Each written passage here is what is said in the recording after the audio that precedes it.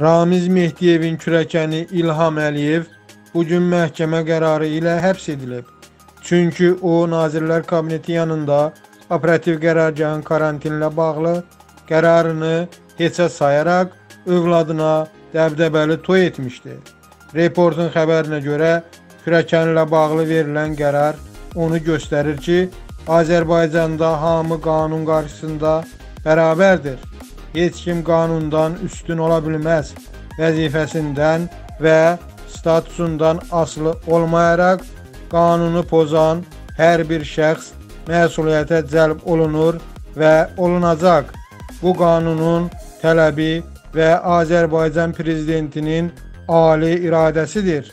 Ramiz Mehdiyev isə dövlətə meydan oxumaq istəyirdi. Amma o cəzasını aldı.